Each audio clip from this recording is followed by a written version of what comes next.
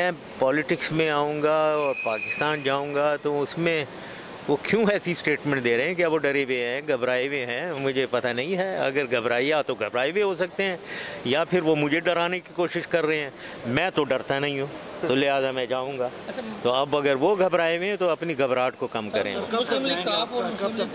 है ये जम हो चुकी है आपस में।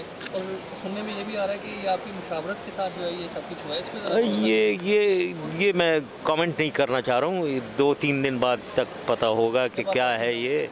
लेकिन जो क्लियर बात है वो मैंने बता दिया है। पहली तारीख को मैंने अनाउंसमेंट करनी है। वॉट एवर जो कुछ भी है कोई है साथ या नहीं है जो कुछ भी बस ये करना है। सर ये आप ऐलान भी करेंगे कि किस दिन आप जाएँगे पाकिस्तान या इसके वो देखते हैं। नहीं इतनी क्लियर क्लैरिटी उसमें नहीं है लेकिन जाऊँगा ज़रूर मैं लेकिन उसकी तारीख मुकर करनी अभी तक पॉसिबल नहीं है। क्या पीपल समझते पार्टी के कि जो सेनेटर ना फैसल रजाउद्दीन साहब उन्होंने एयरवे के प्रोग्राम में कहा जी कि नवंबर के एंड में सकता मुस्तफ़ा साहब वापस आए तो वो अपनी मैं मेरी उनसे कभी बातचीत तो नहीं हुई है तो उन्हें पता नहीं किसने बता दिया होगा। सर आप क्या समझते हैं कि ये गवर्नमेंट कर सकी है जो उसको करना चाहिए था या ज़्यादा बेहतर जैसे या ये इससे ज़्यादा कर सकती है मैं ये कमेंट नहीं करना चाह रहा इस गवर्नमेंट के ऊपर।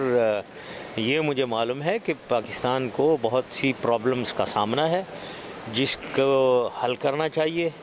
और एक हमें, जब तक कि पूरी पाकिस्तानी कौम यकजहती के साथ नहीं उठती है, और एक अपने इरादा बनाती है इसको ठीक करने का ये बहुत मुश्किलात में हम फंसे हुए हैं। उससे निमटना चाहिए। उसकी ज़रूरत ज़रूर है। अब मैं ये नहीं कमेंट करना चाहता हूँ गवर्नमेंट कैसे कर रही है या नहीं कर रही। सर एक क्वेश्चन आपसे ये करना है कि बरतानिया जो है ये हमेशा से पाकिस्तानी खासकर पाकिस्तानी सियासतदानों का एक सेफ़ हैवन रहा है। मगर इमरान फारूक के जुमरात कत्ल के बाद आप क्या समझते हैं? आप कुछ स्केर्ड फील कर रहे हैं यहाँ पे कि नहीं? जी मैं स्टेट स्टेट कोई नहीं फील करता। मैं मैं नहीं बिल्कुल ये ख़तरे सामने फेस किए हुए हैं। क्या डरना है?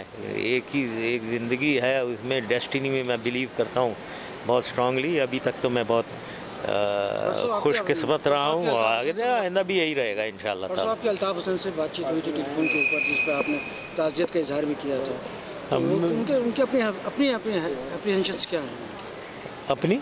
उनके अप्रीहेंशंस क्या हैं कि आया ये कौन लोग इसमें इन्वॉल्व हैं? पता नहीं मैं डिटेल में नहीं गया हूँ। ज़ाहिर है वो उन्हें बहुत अफसोस है जो कुछ भी हुआ है मुझे बहुत अफसोस है।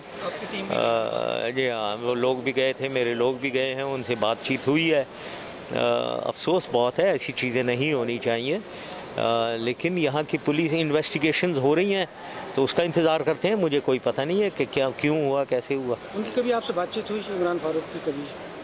मैं पहले मिला था। से मिले थे जब तब हुई थी। पहले मिला था मैं एक दफ़ा लेकिन इतने ज़्यादा मैं नहीं मिला हूँ उनसे। Thank you very much war war on terror के हवाले से आपने एक लास्ट क्वेश्चन हाँ ओके। किया था। इसमें आप क्या समझते हैं कि जो पाकिस्तान पे ड्रोन हमले अब बढ़ गए हैं और सैलाब के बावजूद और ईद और इस दौरान ये खुदकुश हमले क्या समझते हैं कि पोलिटिकल और सूरत हाल के साथ साथ एक पाकिस्तान में जो एक अनारकी फैल गई टेररिज्म बढ़ गया। उसके बारे में आप क्या? वेल ये बहुत बदकिस्मती है कि ये टेररिज्म एक सेक्टेरियन टेररिज्म भी शामिल हो गई है इसमें। और ये अलकायदा तालिबान तो था ही, जिसमें टीटीपी है तहरीक तालिबान पाकिस्तान शामिल हुआ हुआ है उनके साथ। और अब ये हमारे जो सेक्टेरियन एक्सट्रीमिस्ट हैं ये भी कुछ शामिल हुए हुए हैं मेरे ख्याल में। तो ये बहुत हमारी बदकिस्मती है, इसको बहुत फोर्स के साथ हमें रोकना पड़ेगा। Thank you very much sir thank you